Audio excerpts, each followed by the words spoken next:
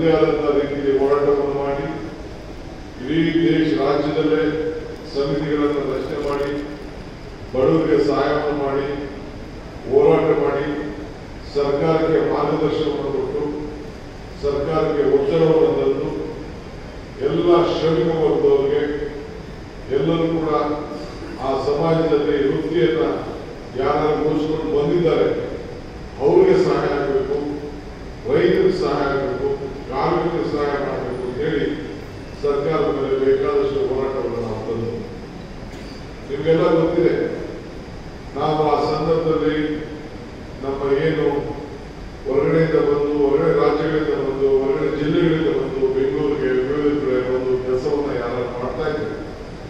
ಅವ್ರ ಪರವಾಗಿ ನಾವು ನಿಂತ್ಕೊಂಡು ಮೈಗ್ರೆಂಟ್ಸ್ ಅಂತ ಕರೀತಾ ಇದ್ದೀವಿ ನೀವು ಅವ್ರನ್ನ ಮೈಗ್ರೆಂಟ್ಸ್ ಅಂತ ಕರೆಯಕ್ಕೆ ಹೋಗ್ಬಿಡಿ ನೇಷನ್ ಬಿಲ್ಡರ್ಸ್ ಅಂತ ಕರಿಬೇಕು ಇವತ್ತು ಅವರೆಲ್ಲ ಕೂಡ ಅವರೆಲ್ಲ ಮೌಲ್ಯವಾದಂತಹ ಬಿಲ್ಡಿಂಗ್ಗಳು ಸಾಧ್ಯ. ಮಾನವನಿಗೆ ದುಡಿಯೋರಿಗೆ ಶ್ರಮವನ್ನು ಕೊಟ್ಟವರಿಗೆ ನಾವು ಗೌರವವನ್ನು ಕೊಡಬೇಕು ಅನ್ನೋ ದೃಷ್ಟಿಯಿಂದ ಇವತ್ತು ಅವ್ರ ಪರವಾಗಿ ಹೋರಾಟ ಮಾಡಿ, ಇವತ್ತು ಸರ್ಕಾರದ ಮೇಲೆ ಮಾಡಿ ಫ್ರೀ ಟ್ರಾನ್ಸ್ಪೋರ್ಟೇಷನ್ ಇಡೀ ದೇಶದಲ್ಲಿ ಬರಲಿಕ್ಕೆ ಕಾಂಗ್ರೆಸ್ ಪಕ್ಷ, ಕರ್ನಾಟಕ ರಾಜ್ಯದಿಂದ ಪ್ರಾರಂಭ ಆಯಿತು ಇತಿಹಾಸವನ್ನು ಮಾಡಲಿಕ್ಕೆ ಸಾಧ್ಯ ಇಲ್ಲ. ಅದಾದ್ಮೇಲೆ ಎಲ್ಲರೂ ಕೂಡ ಹತ್ತು ಸಾವಿರ ಕೊಡಬೇಕು, ಈ ತಿಂಗಳು ಎರಡು ತಿಂಗಳಿಗೆ ಅಂತ ಹೇಳಿದ್ರು ಕೊನೆಗೆ ಐದೈದು ಸಾವಿರ ರೂಪಾಯಿ ಅಂತ ಹೇಳಿ ಅನೌನ್ಸ್ಮೆಂಟ್ ಮಾಡಿದ್ರು. ಡ್ರೈವರ್ಗಳಿಗೆ, ದೇವಳಿಗಾದವ್ರಿಗೆ, ನಮ್ಮ ಸವಿತಾ ಸಮಾಜದವ್ರಿಗೆ ಬಟ್ಟೆ ಹೊಲಿಯವ್ರಿಗೆ ಕುಂಬಾರರಿಗೆ ಎಲ್ಲರಿಗೂ ಕೂಡ ಚಮ್ಮಾರಿಗೆ ಎಲ್ಲರಿಗೂ ಅನೌನ್ಸ್ ಮಾಡಿದ್ರು.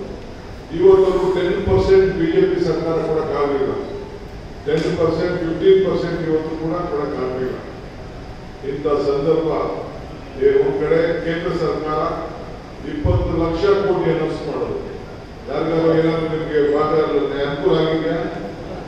ಇಪ್ಪತ್ತು ಲಕ್ಷದಲ್ಲಿ ಯಾರಿಗಾರು ಒಬ್ರಿಗೇನಾದ್ರು ಸಹಾಯ ಆಗಿದೆಯಾ? ಯಾರೋ ಇಂಡಸ್ಟ್ರಿಯಲಿಸ್ಟ್ಗೆ ಮತ್ತೊಂದಿಗೆ ಸಾಲನ ಜಾಸ್ತಿ ಕೊಡಕ್ಕೆ ದೊಡ್ಡ ದೊಡ್ಡ ಅನುಕೂಲ ಆಗಿರ್ಬೋದು. ಈ ದೇಶದ ಸಾಮಾನ್ಯ ಜನರಿಗೆ ಒಬ್ಬರಿಗೂ ಕೂಡ ಇವತ್ತು ಅನುಕೂಲ ಆಗಿಲ್ಲ.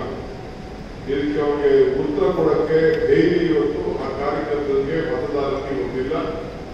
ಮುಂದಿನ ದಿನದಲ್ಲಿ ಅವಕಾಶ ಸಿಕ್ಕರೆ ನೀವು ನಾವೆಲ್ಲ ಇದನ್ನ ಅವ್ರಿಗೆ ನೆನೆಸ್ಬೇಕಾಗ್ತದೆ ಇನ್ನೇನು ನಾವು ಮಾಡ್ಬೇಕಾದಿಲ್ಲ ನಿಮ್ಮ ಕಷ್ಟ ಕಾಲದಲ್ಲಿ ಯಾರು ನಿಮ್ಮ ಜೊತೆ ಇದ್ದು ಯಾವ ಸರ್ಕಾರ ಇದ್ದು ಯಾವ ನಿಮ್ಮ ಪರವಾಗಿ ಧ್ವನಿಯನ್ನು ಇದ್ದರು ನಿಮ್ಗೆ ಏನಾದ್ರು ಅನುಕೂಲ ಆಯ್ತಾ ಅಂತ ಹೇಳಿ ನಾವು ಈ ಸಂದರ್ಭದಲ್ಲಿ ಅವ್ರಿಗೆಲ್ಲ ಕೂಡ ನಾವು ತಿಳಿಸ್ಬೇಕಾಗ್ತದೆ.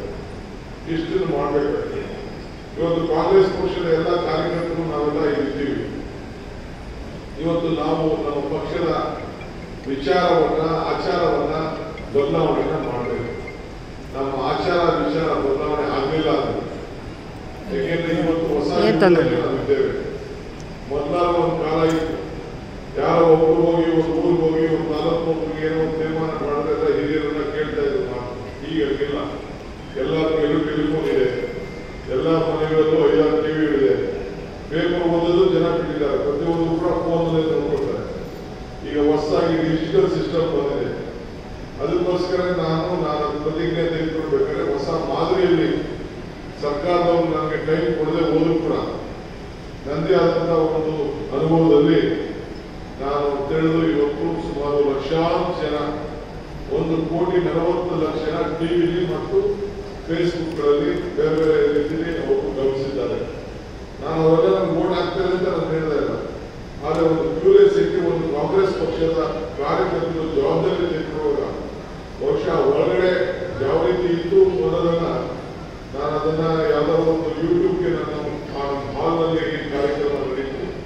ಯಾವ ರೀತಿ ನೋಡೋದು ಅಂತ ಹೇಳಿ ಯೂಟ್ಯೂಬ್ನಲ್ಲಿ ಯಾವ್ದಾದ್ರು ದಿನ ನಾನು ಕಂಪ್ಲೀಟ್ ಒಂದು ಇಪ್ಪತ್ತು ನಿಮಿಷದಲ್ಲಿ ಮಾಡಿ ನನ್ನ ರಿಲೀಸ್ ಮಾಡಲಿಕ್ಕೆ ಪ್ರಯತ್ನವನ್ನು ನಾನು ಮಾಡ್ತೇನೆ. ಇಲ್ಲ ಕೆಲಸ ನಾನು ಮಾಡಿಲ್ಲ. ವಿನೂತನವಾಗಿ ಯಾವ ದೇಶದಲ್ಲೂ ಕೂಡ ಆ ರೀತಿ ಮಾಡಲಿಕ್ಕೆ ಸಾಧ್ಯ ಇಲ್ಲ. ಸುಮಾರು ಹನ್ನೊಂದು ಸಾವಿರ ಕಡೆ ಏನ್ ಕಾರ್ಯಕ್ರಮ ನೀವು ಮಾಡ್ತಾ ಇದ್ರಿ ನಿಮ್ಮಲ್ಲಿ ಸುಮಾರು ಮುನ್ನೂರ ಎಂಬತ್ತೊಂದು ಕಡೆ ಏನ್ ನಡೀತು ಅಂತೇಳಿ ನಮ್ಗೆ ನಮ್ಮ ಎಲ್ಲ ಕೋಆರ್ಡಿನೇಟರ್ಸ್ ನಮ್ಗೆ ವರದಿಯನ್ನು ಕೊಟ್ಟಿದ್ದಾರೆ ಜಿಲ್ಲಾ ಕಾಂಗ್ರೆಸ್ ವರದಿಯನ್ನು ಕೊಟ್ಟಿದ್ದಾರೆ ಅದೆಲ್ಲ ಕೂಡ ಒಂದು ನಿಮಿಷ ಅಲ್ಲಿ ಹೋಗ್ತಾ ಇದ್ರು ರನ್ ಆಗ್ತಾ ಇದ್ರು ಈ ಕಡೆಯಿಂದ ಪ್ರಾರಂಭ ಆದ್ರೆ ಈ ಕಡೆ ಹೋಗ್ತಾ ಇದ್ರು ಅಂದ್ರೆ ನಾಯಕರು ಕೂಡ ನಿಮ್ಮನ್ನ ನೋಡ್ತಾ ಇದ್ದಾರೆ ನೀವು ಕೂಡ ಅದೇನ್ ನಡೀತಾ ಇತ್ತು ಅಂತ ನೋಡುವಂತ ಒಂದು ಅವಕಾಶವನ್ನ ನಾವು ಯಾಕೆಂದ್ರೆ ನನಗೆ ನಿಮ್ಮ ಇನ್ವಾಲ್ವ್ಮೆಂಟ್ ಬಹಳ ಮುಖ್ಯ ಇದೆ if you like this video ಬೇಗ ಲೈಕ್ ಮಾಡಿ ಕಾಮೆಂಟ್ ಮಾಡಿ ಶೇರ್ ಮಾಡಿ ಹಾಗೂ ಯೋಯೋ ಟಿವಿ ಕನ್ನಡವನ್ನು ಸಬ್ಸ್ಕ್ರೈಬ್ ಮಾಡಿ.